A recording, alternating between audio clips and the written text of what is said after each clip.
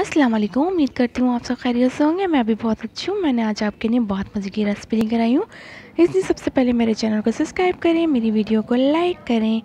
आज मैं आपके लिए पिन विल्स लेकर आई हूँ। बहुत मज़ेदार हैं, बहुत क्रिस्पी हैं, बहुत जूसी हैं। आप इसको ज़रूर ट्राई करिएगा। चलिए हम बनाना स्टार्ट करते हैं। सबसे पहले मैंने डेढ़ कप मैदा लिया है। मैदे के साथ ही मैंने चार चम्मच कुकिंग ऑयल लिया और उसके साथ मैंने नमक लिया है। जो थोड़ा सा है हसब जायका आप अपने हिसाब से डालिएगा। सबसे पहले हम इसमें नमक दे ऑयल ऐड कर देंगे। ऑयल ऐड करने के साथ इसमें नमक ऐड करेंगे। नमक ऐड करने के साथ हम इसको अच्छी तरह से मिक्स करेंगे। मिक्स इसको, हम आटे को जो है हमें सॉफ्ट नहीं रखना, थोड़ा हार्ड रखना है। ये बहुत मज़े के बनते हैं। जितना हार्ड रखेंगे, उतने ज़्यादा अच्छी रोटी बनेगी, उतने अच्छे ही हमारे पिनलेस बनेंगे। पिनविल्स बहुत मज़ेदार होते हैं। बहुत अच्छी डिश होती है। इसको नॉर्मल आप खाने में यूज़ कर सकते हैं। लंच में ब्रेकफास्ट में स्कूल लंच में भी बच्चों को भी दे सकते हैं। इस तरह देखिए हम आटे को गूंद रहे हैं। पहले हम सबसे इस तरह करेंगे और उसको मुट्ठी में लेके देखेंगे। ये बिल्कुल आ रहा है हमारी मुट्ठी में तो फिर इसमें पानी ऐड करेंगे। पानी हम बिल्कुल कम कम ऐड करेंगे। मैंने डेढ़ डेढ़ कप मैदा लिया है। इसमें तकरीबन मैंने आधा कप ही पानी डाला है। ज़्यादा पानी मत लीजिएगा। पानी थोड़ा थोड़ा करके हमें मिक्स करना है, ज़्यादा नहीं। पानी मैंने नॉर्मल लिया है, जो हम नॉर्मल घर में पानी यूज़ करते हैं। ना ये ठंडा है, ना ये गर्म है। बिल्कुल ठीक पानी है।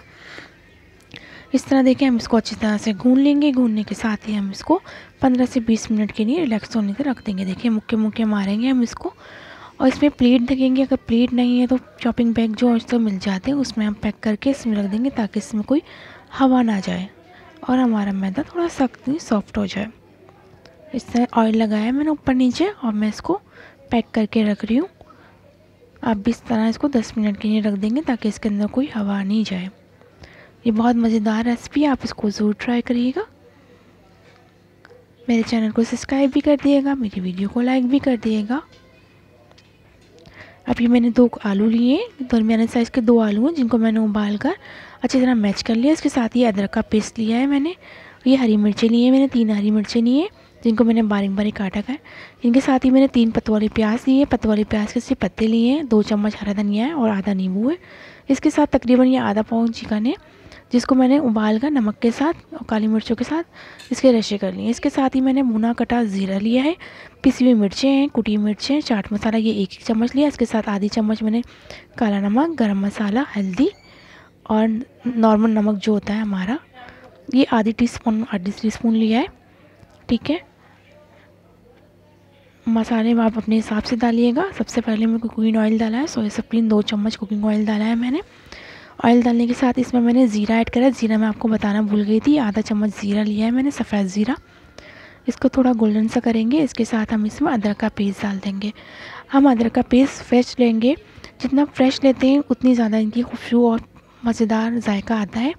तो इसलिए आप फ्रेश ही अदरक लीजिएगा। ये आधी चम्मच मैंने अदरक लिया है। मैं दो आलू के बना रही हूँ हिसाब से। अगर आप ज़्यादा आलू लें तो आप उसके हिसाब से मसाले लीजिएगा अपना।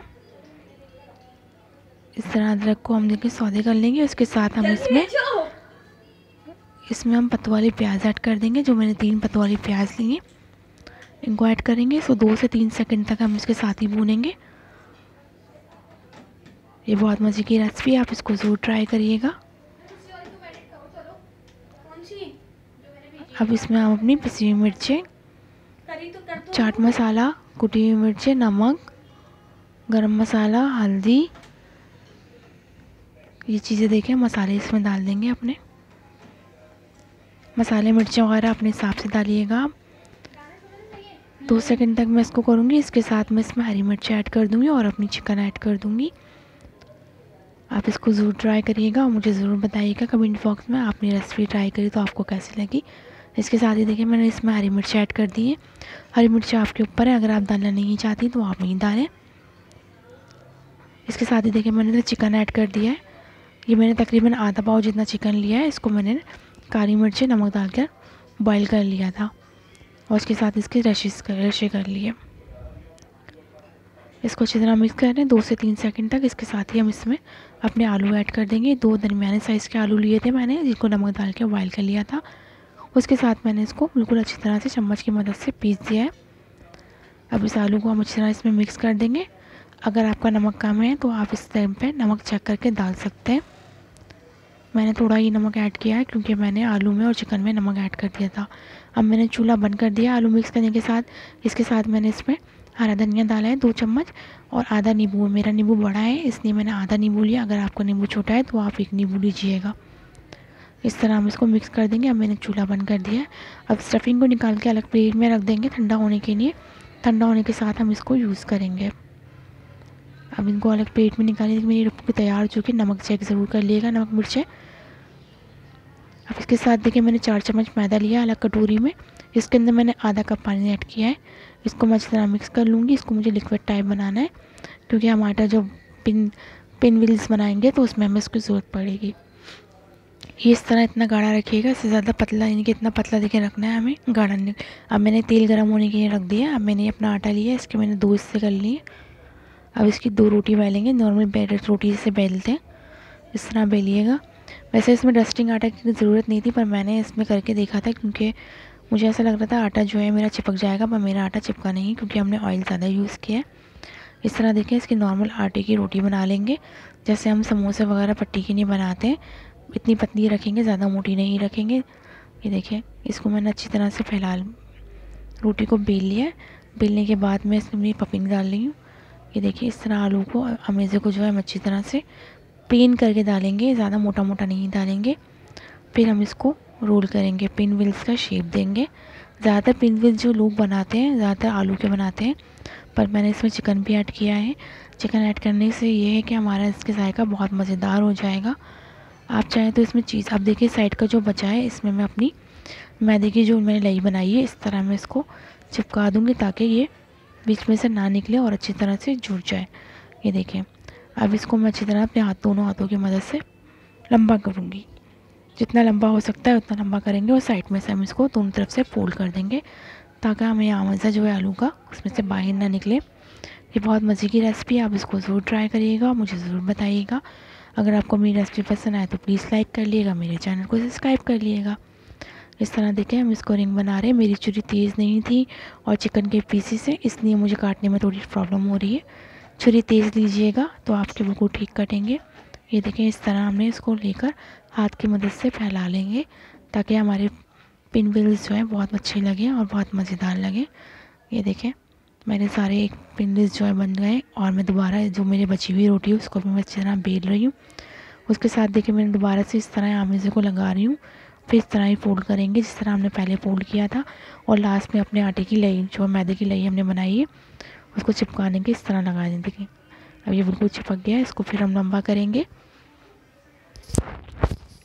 लंबा करने के साथ ही देखिए इस तरह कर दिया हमने।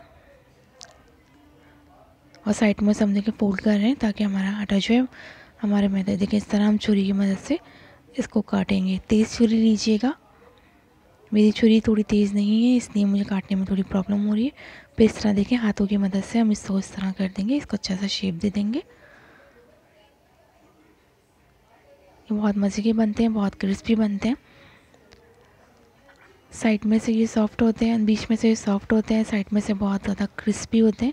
अब इस तरह देखें, बचे हुए मैदा जो है हमारा, उसमें हम डुबो डुबो के इसको पूरे को अच्छी तरह मिक्स करेंगे और आटे को डालकर पनीर जो है हमने पूरे मैदे के अंदर डिप करा है और फिर इसको हम फ्राई कर रहे हैं नॉर्मल। जिस तरह हम पकोड़े वगैरह फ्राई करते हैं, ये टूटेंगे नहीं, इसमें से हमेशा जो है हमारा बाहर नहीं निकलेगा। अब सब पेन बेल्स हम जिसमें डालेंगे और फ्राई करेंगे, जितने आ जाएँगे हमारी कढ़ाई में। मैं, मैंने तकरीबन डेढ़ कप कुकिंग ऑयल लिया है ये। हमें डिप फ्राई करना है शैलो फ्राई नहीं करना। इस तरह देखें हम इसको अल्ट पल्ट कर रहे हैं। बहुत मज़े की खुशबू आ रही है। अब ये गोल्डन ब्राउन हो जाएँगे जब अंदर से तो हम इसको छान के बाहर निकालेंगे ताकि इसमें कोई ऑयल हमारा ना रहे। ये बहुत मज़े की रेसिपी है। आप इसको ज़रूर ट्राई करें। मुझे ज़रूर बताइएगा अगर आपकी ये देखें, कितने खूबसूरत कलर के जैसे जैसे ये बनते जा रहे हैं, इनका कलर कितना खूबसूरत होता जा रहा है। इस तरह हम फ्राई करते रहेंगे और उनको चलाते रहेंगे ताकि हमारे पिन लिप्स जो है, जले ना।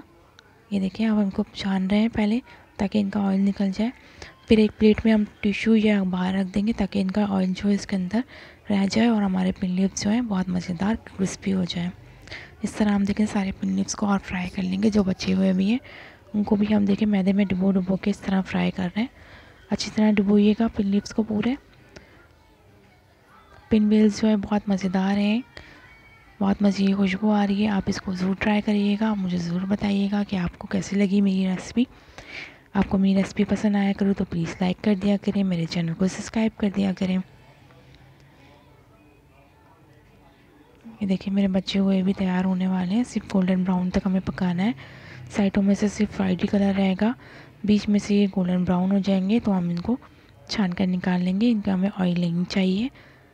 इस तरह देखिए, बिल्कुल सॉफ्ट और करारे करारे बनेंगे। आप इसको ज़रूर ट्राई करिएगा, मुझे ज़रूर बताइएगा कि आपको मेरे पिन पिन व्हील्स की रेसिपी कैसी लगी? मेरी वीडियो देखने के लिए शुक्रिया। अल्लाह हाफ़